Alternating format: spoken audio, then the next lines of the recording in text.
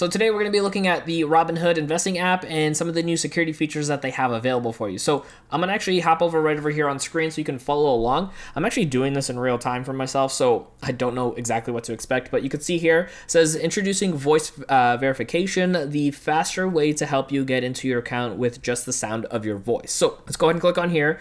It says safety and security with just the sound of your voice. Create a voice ID, a unique uh, composite of your voice.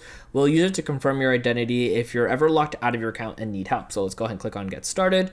Uh, tips for creating your voice ID it says make sure you're in a quiet room, hold your phone uh, a few inches from your mouth, and speak naturally. So we can go ahead and create that. Now, if you want to learn more, you can click on that stuff down there to keep on learning more. But let's go ahead and click on create your voice ID. So it says Robinhood would like to access your microphone. Okay.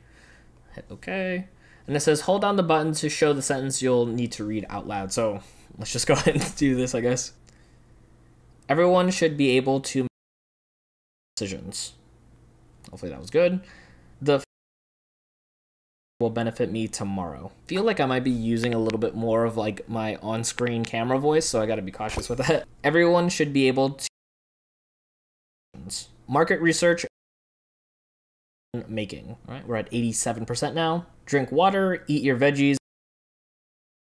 So it says right over here, uh, voice ID created. You're all set. You can now use your voice ID if you're locked out of your account and need help. To manage your voice ID, you can go to your settings. If you're done, click on done. And boom, just like that, you are now a little extra secure into your Robinhood account. Now, I want you to keep on learning and growing when it comes to utilizing Robinhood. So I actually want you to check out my next video right over here. My name is Dennis, and I'll see you in that next video.